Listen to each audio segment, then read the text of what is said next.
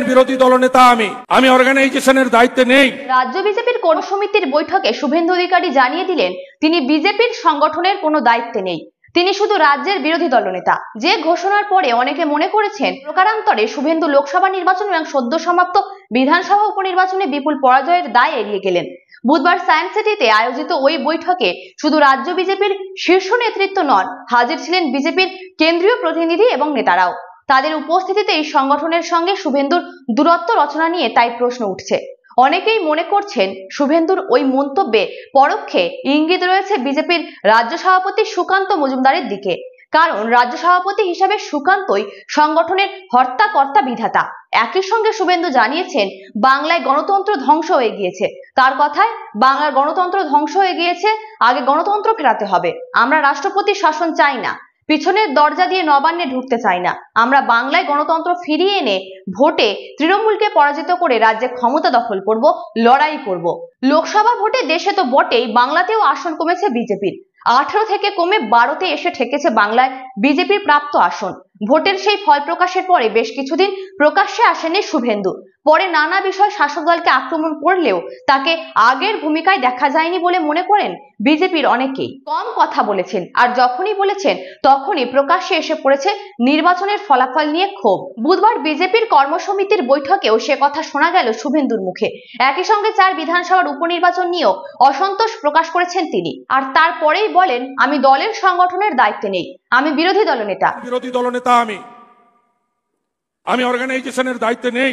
তিনি ভোটের সময় কোথায় কোথায় গিয়ে প্রচার করেছেন তাও উল্লেখ করেন শুভেন্দু। সবিস্তারে না বললেও তার কথা থেকে স্পষ্ট যে দল বা সংগঠনের তরফে তাকে যেমন প্রচারসূচি দেয়া হয়েছিল, তিনি তা মেনেই প্রচার করেছিলেন। বিরোধী দলনেতা হিসেবে তিনি তার কর্তব্য পালন করেছেন। কারণ শুভেন্দু অতীতেও বলেছেন, সংগঠনের নির্দেশই সব।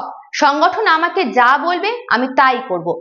ভোট হয় মূলত সংগঠনে। সুকান্ত সম্প্রতি হুগলির দুটি দলীয় সভায় তার ভাষণে কর্মীদের বলেছিলেন, সংগঠনের উপর জোর দিতে। সংগঠন মজবুত না করলে ভোটে জেতা যায় না। ওই সভাতেই সুকান্ত এজেন্সির নির্ভরতা নিয়ে সরব হয়েছিলেন। এবার শুভেন্দু সেই তীর সুকান্তর দিকেই ঘুরিয়ে দিলেন বলে বিজেপির রাজ্য নেতাদের একাংশ মনে করছেন। ঘটনাচক্রে এর আগেও শুভেন্দু সংগঠনের সঙ্গে নিজের দূরত্ব তৈরি করেছেন।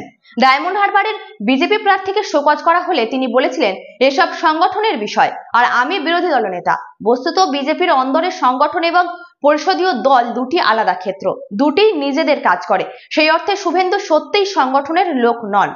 তিনি রাজ্যের প্রধান বিরোধী দল, বিজেপির পরিষদীয় দলনেতা। সেই সূত্রে বিরোধী দলনেতা। ফলে তার কাজকর্ম মূলত পরিষদীয় দল নেই। কিন্তু একই সঙ্গে শুভেন্দু বিজেপির অন্দরে অন্যতম জননেতাও বটে। ফলে ভোটের সময় তার প্রভাব অনস্বীকার্য ছিল।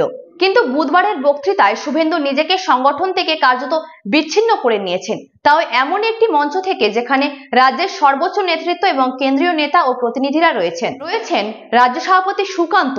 সেই সূত্রেই সংগঠনের সঙ্গে তার দূরত্ব আরও একবার সর্বসম্মুখে জানিয়ে দেওয়ার প্রসঙ্গ আসছে।